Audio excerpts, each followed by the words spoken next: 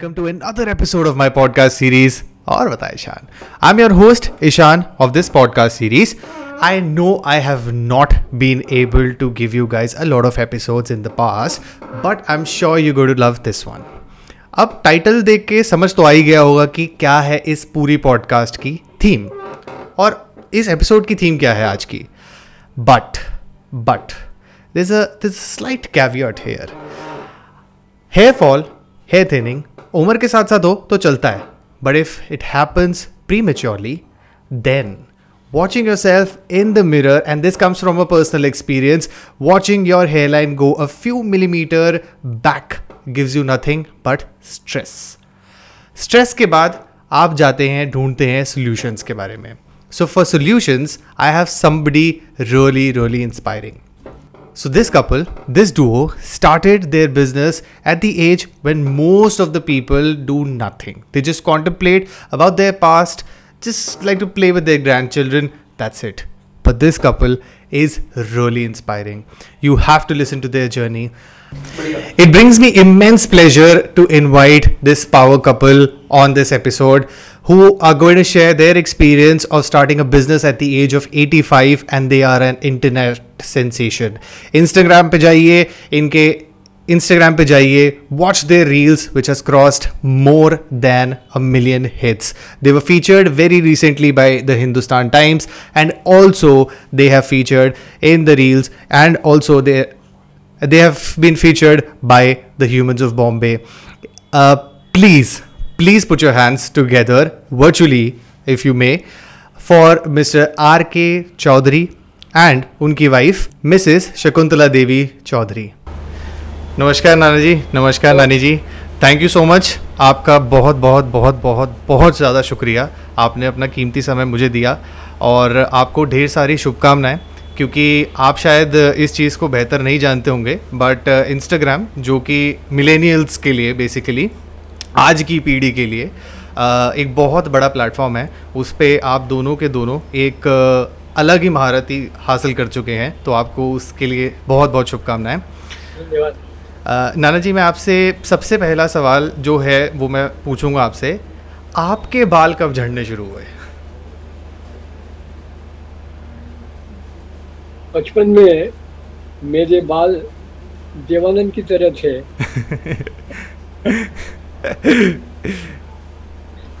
हाँ जी। और फिर तीस साल पैंतीस साल के बाद धीरे धीरे वो झड़ना शुरू हुए। हम्म, हम्म, हम्म। समझ गया मैं। और उस वक्त जब आपके बाल झड़ने शुरू हुए तो आज का क्या होता है कि जैसे जैसे बाल झड़ने शुरू होते हैं तो लोगों को कॉम्प्लेक्स आना शुरू हो जाता है। अपने लुक्स के बारे में हम कैसे दिखेंगे? और ऐसा कहा भी जाता है कि अगर आपके बाल जल्दी उड़ने लग जाएँ तो आप थोड़ा बड़े अपनी उम्र से ज़्यादा लगने लगते हैं। तो आपको क्या वो कॉम्प्लेक्स आना शुरू हो रहा था? आपको आप कैसे डील कर रहे थे उस पूरी सिचुएशन के साथ? नहीं हमारे साथ ये प्रॉब्लम इसलिए नहीं आई कि लोग अक्सर पूछते मुझसे हम्म। कि आपकी उम्र क्या है? जी। तो मैं जवाब देता हूँ भाई कभी अपने मदर फादर से जानने की ज़रूरत नहीं पड़ी। आपकी जो इच्छा अनुमान लगा लो। नहीं, ठीक बात है। बिल्कुल आपने अच्छा ही वो दिया है उनको। अच्छा मैं आपके अब एक इस पूरे उस पे आना चाहूँगा, जर्नी की लाइफ पे। हमने एक तीस सेकंड की वीडियो में देखा कि कैसे आपने पचासी की उम्र में एक पूरा नया हेयर फॉल बेसिकली उसे रोकने के लिए और अपने बाल उगाने के लिए एक ऑयल का निर्माण किया।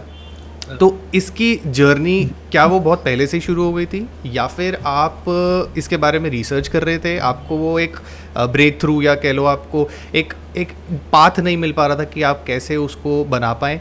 तो थोड़ा सा अपनी जर्नी के बारे में बताओ। ये बचपन से ही मुझे इस लाइन पर शौक था आयुर्वेद के। मैं पढ़ते रहते स्टडी करते रहता था। हम्म, हम्म। और यो मैंने बी कॉम बी एल किया है। लेकिन इसके अलावे भी जो है मैं पढ़ते रहता था बराबर। इसकी आवश्यकता ये पड़ी कि कुछ कुछ महीने पहले जी। मेरी बेटी ने कहा कि पापा मेरे बाल झड़ रहे हैं। आप इतना स्टडी करते हो कुछ तेल निकाल के दो मुझे। और दूसरा कारण ये हुआ कि मेरे घनिष्ठ मित्र हैं उन्होंने चैलेंज किया कि चौधरी इस उम्र में तुम बाल उगा के दिखला दो तो ये एक्चुअली ना दोस्त होते हैं जो आपको बहुत ज़्यादा ना चैलेंज करते हैं। आपको एक दूसरे को मतलब उठाने की कोशिश करते हैं कि यार तू कुछ और कर तू कुछ और कर। तो आपके जो एक घनिष्ठ मित्र हैं मुझे लग रहा है कि उन्होंने आपको काफ़ी ज़्यादा मोटिवेट किया है ये करने के लिए। हाँ दो नहीं मेरी बेटी ने मतलब मेरी बेटी ने शिकायत किया कि मुझे ये प्रॉब्लम है। जी। और मेरे दोस्त ने चैलेंज किया। ठीक ठीक ठीक। और आप फिर उस चैलेंज की तरफ़? हम बढ़े क्योंकि मैंने बैकग्राउंड तो था ही मुझे पढ़ने का। जी। फिर मैंने रिसर्च करके जो है हर्ब्स पर जो है ऐसा निकाला कि जो इस समस्या को। तो जब तेल मैंने तैयार किया मेरी बेटी ने कहा पापा पहले आप अपने सिर पर लगाओ। बिल्कुल ठीक बिल्कुल ठीक।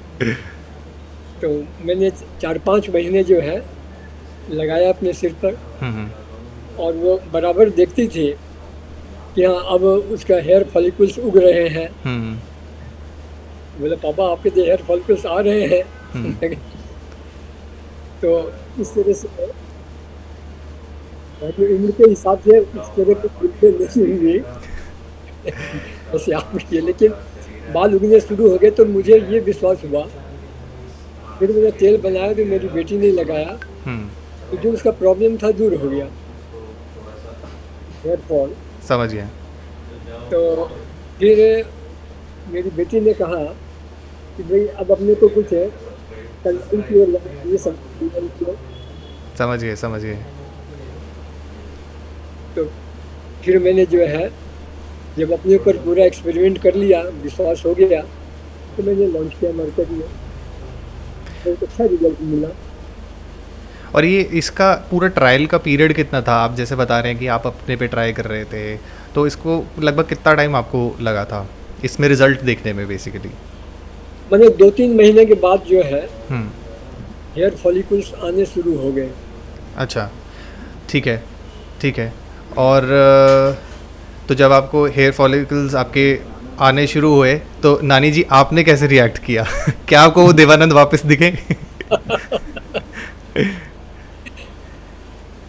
अच्छा नारद जी दूसरा मेरा जो सवाल है आपसे वो ये है कि मैंने आपके ऑयल का नाम देखा है। तो इस नाम के पीछे क्या कारण है कि आपने इसका अवीमीर नाम रखा है ना इसका? अभी में अवीमीर। तो इसका नाम का मतलब क्या है और इसका क्यों आपने रखा है इसका नाम? मेरी तीन बेटियाँ हैं बल्कि बेटे कहूँगा उनका मैं। बड़ी का नाम है अनीता। हाँ जी। दूसरे का नाम है विनीता। जी। तीसरे का नाम है मीनाक्षी। ओके। तो तीनों के नाम पर जो है ये नाम रखा अभी में समझ गया मैं समझ गया। और ये बहुत ही अच्छा आपने अम, मैं क्या कह सकता हूँ एक नाम के पीछे कहते हैं ना लोगों का एक मकसद होता है। तो आई थिंक अगर आप उनको अपना एक नाम दे रहे हैं अपनी बेटियों का तो आई एम श्योर पूरे विश्व में उनका नाम काफ़ी ज़्यादा ऊँचा हो रहा है। इच्छा तो यही थी। जी। जो मेरा एक आपसे एक बहुत ही महत्वपूर्ण सवाल ये है कि डाइट आपके बालों को क्या ऐसा प्रभाव देती है?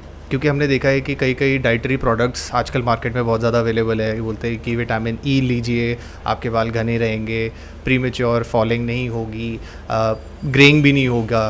तो इसके बेसिस पे क्या मतलब आपके पास इसका वो है कि डाइट कितनी इम्पोर्टेंट है? डाइट इम्पोर्टेंट है लेकिन मैं प्रेफर करता हूँ हम्म, कि नेचुरल वे में डाइट का सेवन करना। जी। तो मैं आंवला पर विशेष ज़ोर देता हूँ। हम्म, क्योंकि आंवला में जो है विटामिन ए सी सबसे ज़्यादा है जी। है हम्म, एंटीऑक्सीडेंट है। हम्म, और हमारे च्यवन ऋषि जिनके नाम पर च्यवनप्राश है। वो आंवला के प्रिपरेशन से ही पुनर्यौवन प्राप्त किए। तो आप ये कह रहे हैं कि आंवला जो है, वो नेचुरल सब्सटेंस है और वो उसका यूज़ जो है, वो बहुत ही ज़्यादा अनिवार्य है। ठीक है। और आप, अब आप ऐसा समझिए कि एक पूरा का पूरा ना शिफ्ट हो चुका है। मतलब आप विभोर को भी देखते होंगे, आप मुझे भी देख रहे हैं, सबके लाइफस्टाइल का पैटर्न पूरा चेंज हो चुका है। तो हम्म। आज की डेट में आज की पीढ़ी को उसको लाइफस्टाइल अगर चेंज करना हो क्योंकि मैंने ऐसा सुना है कि अगर आपकी लाइफस्टाइल में बदलाव आएगा तो आपके बाल भी ठीक रहेंगे और अगर आपके लाइफस्टाइल ख़राब है तो शायद उसकी वजह से भी आपके आ, बाल उड़ रहे हैं या फिर आ, कम हो रहे हैं। तो अगर मेरे जैसे लड़कों को लड़कियों को आप क्या एक सलाह देना चाहेंगे कि आप क्या वो चीज़ें रखें क्या वो चीज़ें करिए जिससे आपके बाल मज़बूत रहें? मैं ये कहूँगा कि प्रकृति के के नज़दीक रहिए। जैसे कि? जैसे कि जो आज जिस तरह का खान पान है जी। जो लाइफ स्टाइल है जी। वो बाल के अनुकूल नहीं है। बिल्कुल। तो बात ये कि हम जिसको तिरस्कार करेंगे हम्म। साथ छोड़ देगा बिल्कुल। तो आप ये कहना चाह रहे हैं कि जितना हो सके नेचर प्रकृति उसके पास रहें उन्हीं चीज़ों का सेवन भी करें ताकि आपके बाल मज़बूत और घने रहें। ठीक है। एक और जो मेरी तरफ़ से एक बहुत आप भी सोच रहे होंगे कि इसके बाद कितने सवाल है करने के लिए और ये बोले ही चले जा रहा है। तो एक और जो मेरा अ, सवाल जो मुझे अब समझ में आ रहा है मुझे ये लगता है कि आंवला जैसे कि आपने बताया हमें कि आंवला बहुत ज़्यादा इंपॉर्टेंट है तो आंवला के अलावा भी क्या कोई एक और कोई सब्सटेंस है या फिर जो हमें यूज़ कर सकते हैं जिसका जूस पी सकते हैं?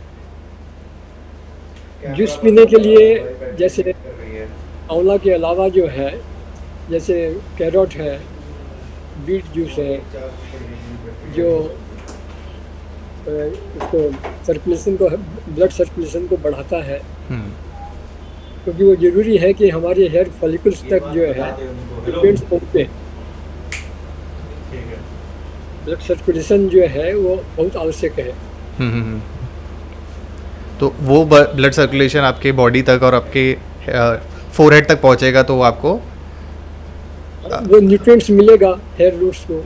जी जी। ठीक है नाना जी। अच्छा बस आई थिंक लास्ट के कुछ एक दो सवाल है जो मैं जानना चाहता हूँ आपसे। um, मेरा एक्चुअली आई थिंक ये सेकंड लास्ट सवाल होगा आपसे। मैं एक आपसे चीज़ जानना चाहता हूँ नाना जी कि आगे का आपका इसके बाद का क्या प्लान है? अब आपने एक अपना ऑयल का लॉन्च किया है। इसके बाद आपका क्या प्लान्स हैं? क्या आप और भी किसी जॉइंट की पेन्स मैंने देखा था शायद आपकी वेबसाइट पे उसकी भी है। उसके अलावा भी क्या आप और कोई प्रोडक्ट्स लॉन्च करने वाले हैं?